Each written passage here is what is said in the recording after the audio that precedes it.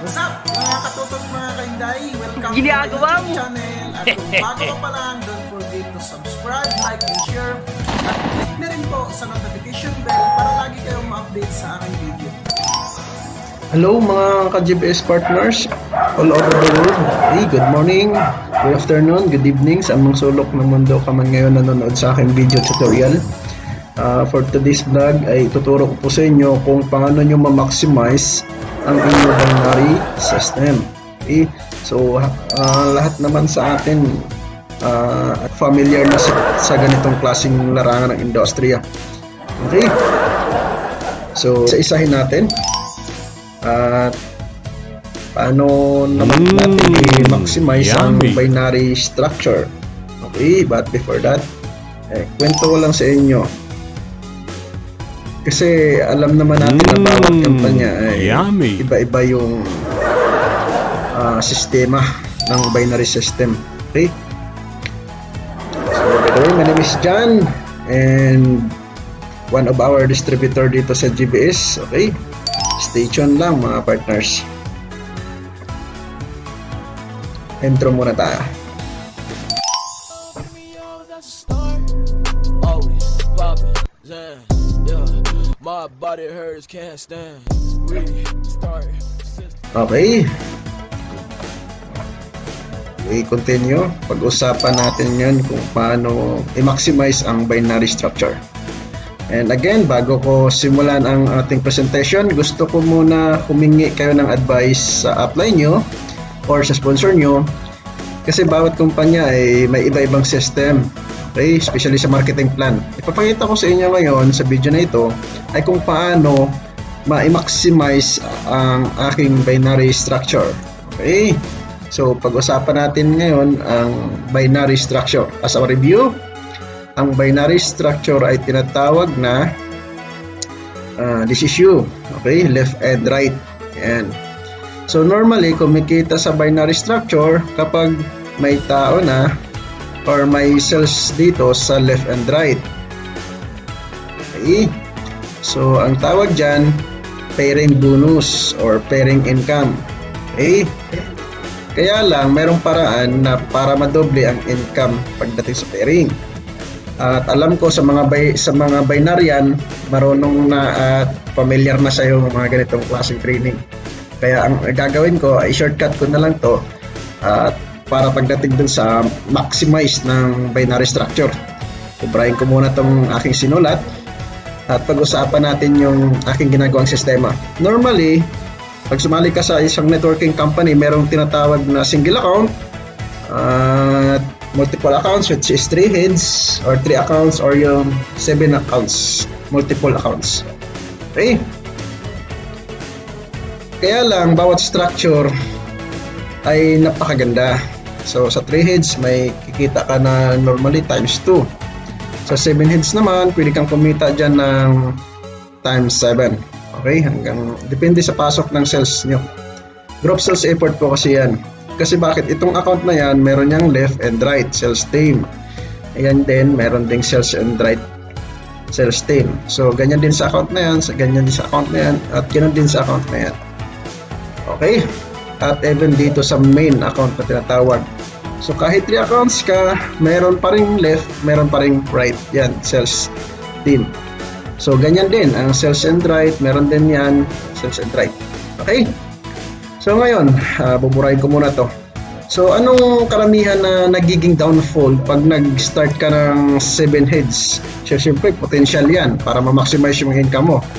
Kaya lang, ang pinaka problema lang ay hindi mo natutulungan ang iyong mga downlines. So, halimbawa na lang, meron kang 7 accounts. 'Di ba kung meron kang walong tao na kausap ay lalagay mo para makabawi ka ay lalagay mo dito sa left and right.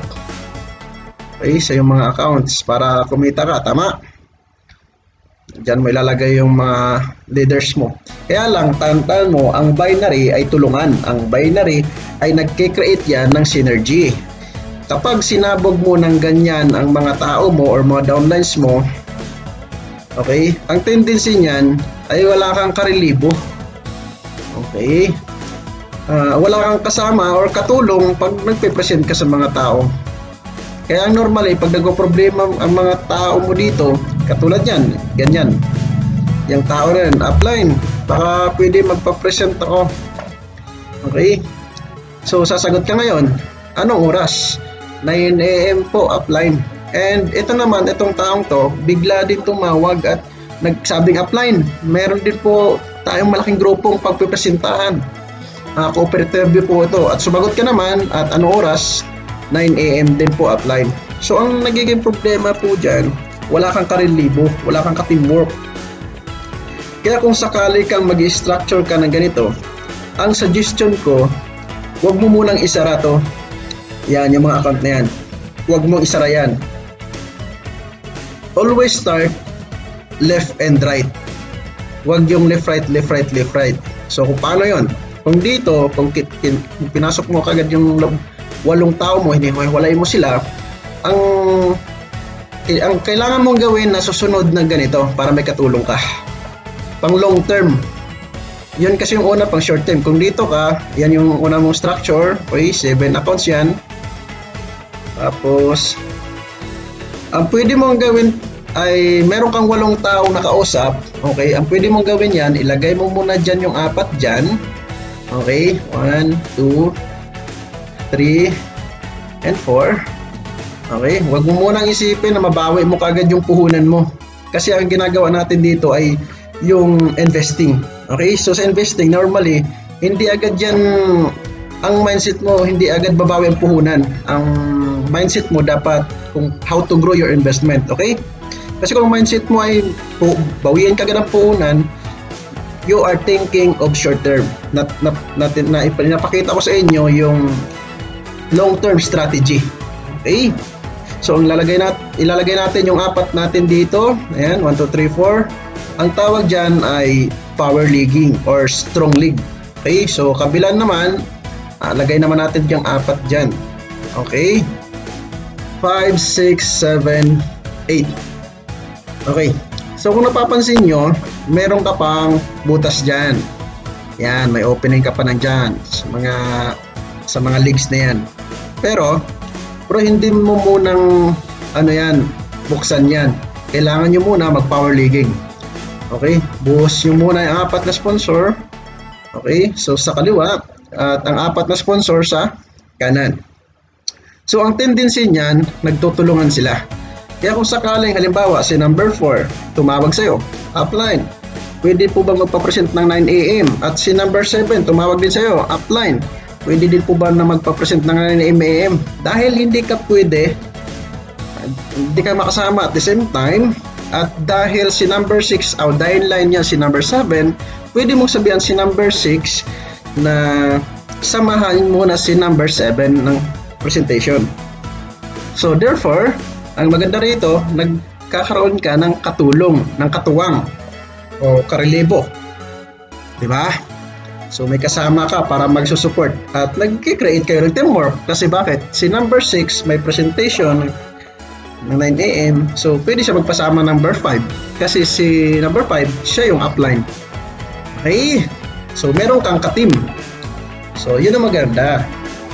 Okay, ngayon, ano pang magandang epekto pag ganito? Tandaan mo, ang mindset ng lahat, kung ganito ang practice mo, ang magiging mindset ng organization mo or ng mga downlines mo ay mag-power leaguing din. Kaya sabihin natin, si number 1 ay naka-recruit, ang una niyang gagawin niya, ibubuhos niya dito, ibubuhos niya ang tatlong recruit niya dito sa number 4. Kaya therefore, si number 4 may mayroon siyang downline. Yan, sa succeeding report, ilalagay niya sa kabilang league. Kaya yan ang ipupokus niya. Kaya itong naman yung left, automatic naman yan na lumalaki. Kasi si number 2, ganun din. Ganun din ang mindset ng ni number 2. Pag unang apat niya, ibubuhos niya rin sa kaliwa, so idugdugtong niya lang din doon sa ilalim. So kusa yan sa hahaba. Ang tawag dyan ay power leaguing. Okay? So malinaw ah. Ngayon, punta naman tayo doon sa 3 accounts. Nang, kasi, kunwari, 3 accounts naman yung binili mo. Okay? Kasi kung paano naman talaga mag-maximize yung binary. Kasi itong strategy na to normally hindi kaya mag-purchase ng 7 accounts. At ang advice at ang advice ko uh, mas as mas as possible, wag kang mag-start ng one account. Mag mag ano ka, mag 3 accounts ka para ma-multiply mo talaga yung uh, ma-multiple mo yung income mo. Okay, you have the 3 accounts. So ito ka. So ang sistema, ang sistema diyan, mag-power leaguing ka rin, wag ka magbuksan yung inner opening.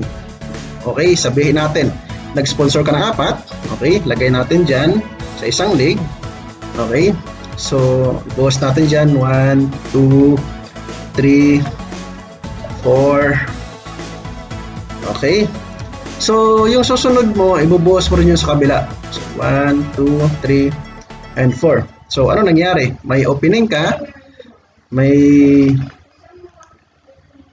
may dalawang leg ka na opening. Okay? So I suggest, wag nyo munang isara yan. Wag nyo munang isara yan. So ang gawin nyo, magiging objective nyo, palakihin nyo muna yung grupo nyo. Okay? Tulungan nyo muna siya. Tulungan mo muna yung mga grupo mo. Pag, pag lumaki na yan, nakikita nyo na gumagalaw na yan, so yung main nyo, kumikita na yan. Tama?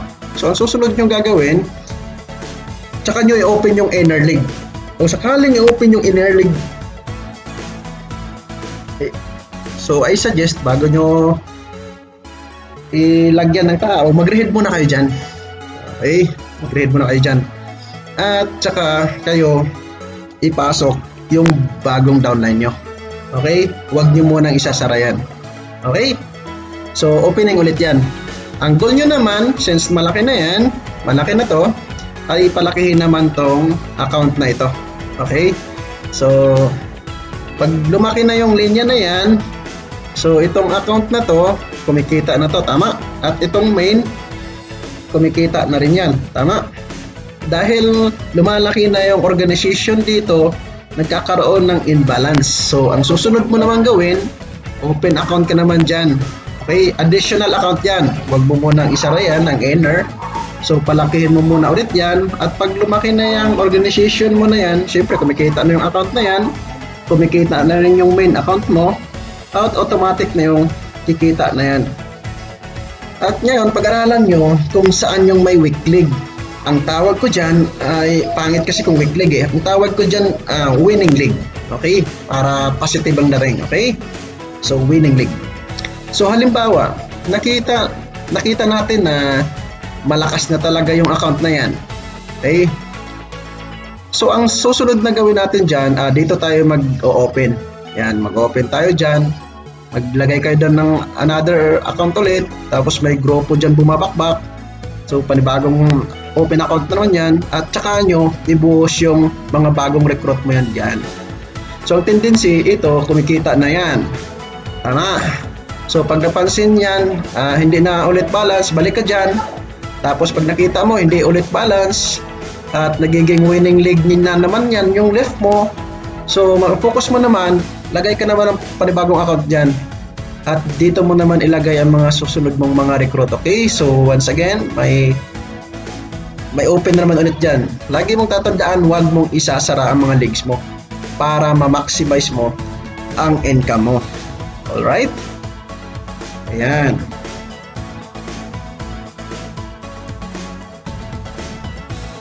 So, once again, uh, my name is John and We hope na may natutunan ka sa aking video tutorial. It's all about uh, maximize ng binary system.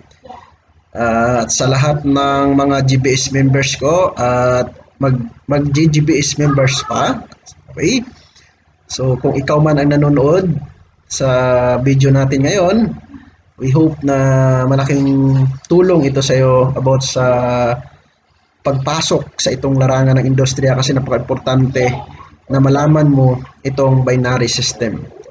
Okay, kaya dito sa GBS we make ordinary people to become extraordinary entrepreneur. Okay? So, once again, my name is John. God bless everyone and see you on top. Mga kainday? Welcome to my channel. At kung bago pa lang, don't forget to subscribe, like, and share. At click na rin po sa notification bell para lagi kayong ma-update sa aking video.